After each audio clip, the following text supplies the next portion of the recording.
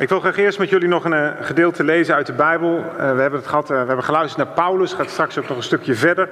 Iemand die ongeschikt was, maar geschikt is gemaakt. En ik wil je vragen om goed mee te luisteren naar deze bekende geschiedenis die ik met je ga lezen, want ik ga er straks wat vragen over stellen.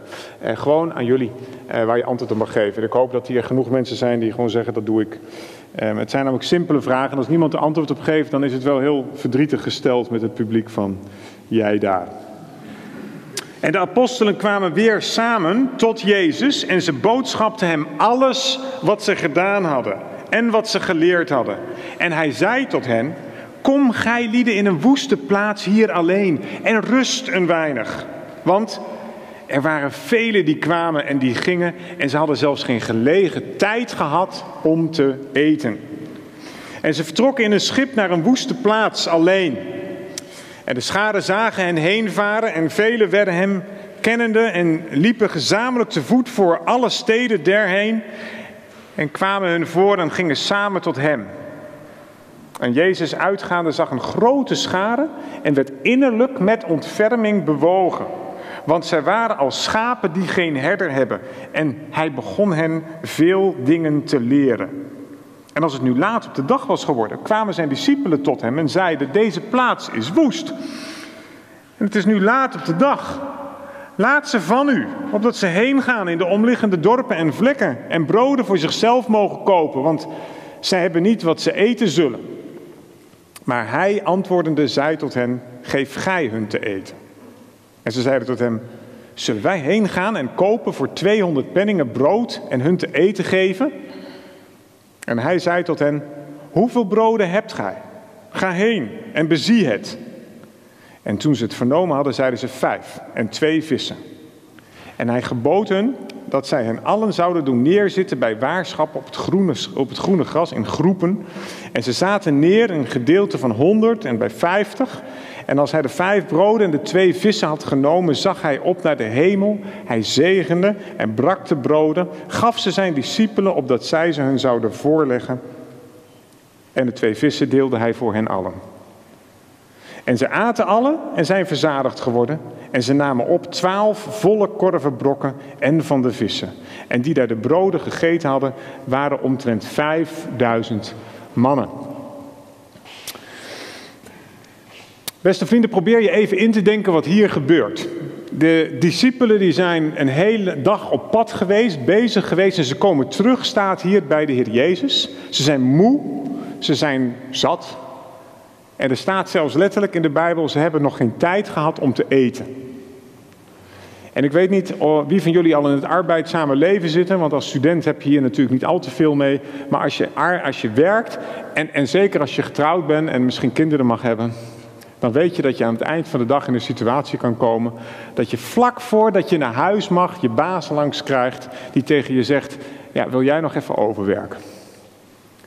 Of dat je thuis komt en dat je echt moe bent en dat je kinderen juist dan, hoeveel je ook van hun houdt, beginnen te zeuren en te pieren en niet willen eten en van alles. Moe, zat en dan dingen te krijgen die je niet prettig vindt. Wat voel je dan? Wat is je eerste reactie op dat moment? Zeg het maar. Eh, sorry? Laat maar zitten. Ja, laat maar zitten. Anderen? Nu eventjes niet. Laat dit even allemaal gebeuren. Ik heb er geen zin in. De, de, discipelen maken dit mee met de Heer Jezus. En Jezus die ziet hoe vermoeid ze zijn. En hij zegt, weet je, ik weet nog een plekje. Kom, we stappen in de boot, we gaan naar de overkant. En daar nemen we rust. Maar het gaat van lopend vuurtje, van her naar der. En de mensen die, die volgen om dat meer heen. En nog voordat Jezus en de mensen aan de overkant van het meer zijn, staan daar 5000 mensen te wachten op het plekje waar hun lekker zouden lunchen. Zonder mensen om zich heen. Jezus kijkt naar deze mensen en wat ziet hij? Hoe kijkt hij naar mensen? Met ontferming, met ontferming, met medelijden. Hoe noemt hij de mensen? Schapen zonder herder. Wat gebeurt er met schapen zonder herder? Die gaan dwalen. Die lopen gevaar. En Jezus begint langdurig, staat er, onderwijs aan hen te geven. Dat is wat ze kennelijk nodig hadden. Maar de discipelen die, die al honger hadden en niet geluncht hadden, hadden we gelezen, hè, die al lange tijd bezig waren, die kijken op de deur op hun, uh, naar de zon of zo, denk ik, niet op een klokje. En, en die denken bij zichzelf, ja, het wordt laat. Wat is de oplossing van de discipelen? Stuur ze maar weg. Stuur ze weg. Laat ze eten halen. Maar Jezus heeft een andere oplossing, namelijk geven jullie hen te eten. Gaan jullie dat maar even doen. Ja, maar dat, dat, dat kan toch niet? Heer, we hebben helemaal niks. Er is hier geen winkel. Wat, we hebben 200 denari, 200 daglonen nodig. Nou, reken maar uit, 200 dagen werken. Bijna een jaar salaris nodig om genoeg te eten en te drinken te halen voor deze mensen. Maar wat is er dan wel, vraagt Jezus. Vijf broden, twee vissen. Er is daar een jongetje, zegt een ander evangelie, die vijf broden en twee vissen heeft. En ik weet niet hoe het jou vergaat. Ik denk altijd als ik dit verhaal lees, zou het waar zijn? Ik denk zoals als ondanks dat je weet dat je bij jij daar te eten en te drinken krijgt, dat er hier meer is. Met, met dit groepje mensen. In je auto nog een flesje of een blikje, hè? een broodje of iets lekkers. Zou er niet meer geweest zijn? Nou ja, we weten het niet. Maar misschien wel. En en dan hebben de mensen bedacht, ik ga het niet weggeven, dan ben ik het kwijt. Dan is het weg. Dan, dan heb ik het niet meer. Dan heb ik straks honger. Dit jongetje, die geeft het wel. Wat gebeurt er met het brood en de vis? Wie? Wordt vermenigvuldigd daarvoor. Het wordt gezegend. Het wordt eerst naar Jezus gebracht. Jezus zegt niet tegen zijn discipelen: vijf broden, twee vissen, succes. Doe het. Het wordt eerst gezegend. Het wordt bij Jezus gebracht. Hij vermenigvuldigt het in de kracht van God. En dan mogen de discipelen op pad. Uiteindelijk zoveel over, twaalf man. Waarom twaalf?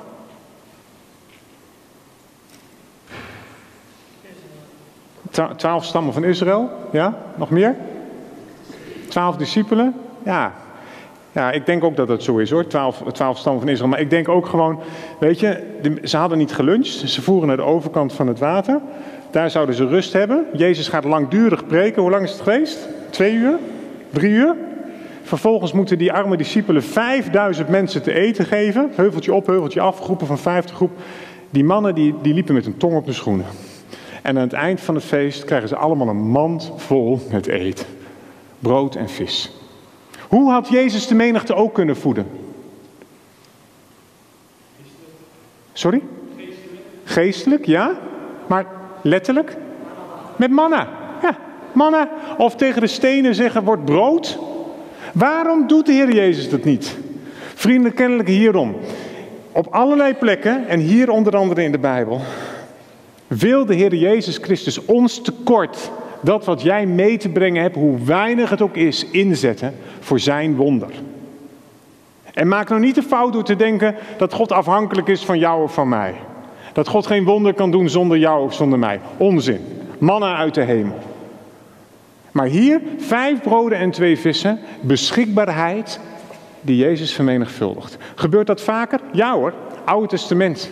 Elisa en de weduwe. De weduwe moest haar kind verkopen als slaaf. Ze had niks meer. En wat moest ze doen? Alle kruiken in de omgeving verzamelen van het dorp. En de Heer Jezus, Heere God, zorgde ervoor dat er overal olie in kwam. Waarom had God niet gewoon geregeld dat het automatisch ging? Waarom moest ze eerst al die, krank, die kannen en kruiken verzamelen? God zette de vrouw in bij het wonder. Wil je er nog één? Lazarus. Is de laatste. Lazarus die overleden was en in het graf lag.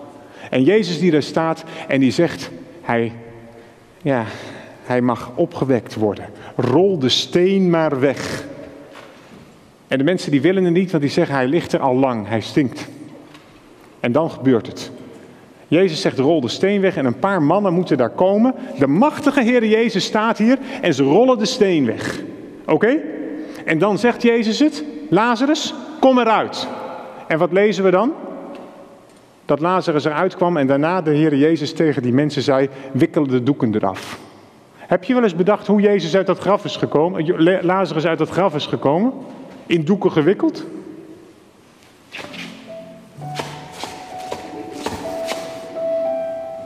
En die mensen die zeiden, Heer Jezus, hij stinkt al. De Heer Jezus zegt, loop er naartoe, wikkel de doeken af. Waarom? Waarom laat God iemand opwekken uit de dood en vallen die doeken er niet gewoon af? Wat is dat voor geks? Hij wil ons inzetten bij zijn wonder. Hij wil ons inzetten bij zijn wonder. En de vraag van vanavond is: wat zijn jouw broodjes? Wat zijn jouw visjes? Gaven, talenten, geld, wat dan ook.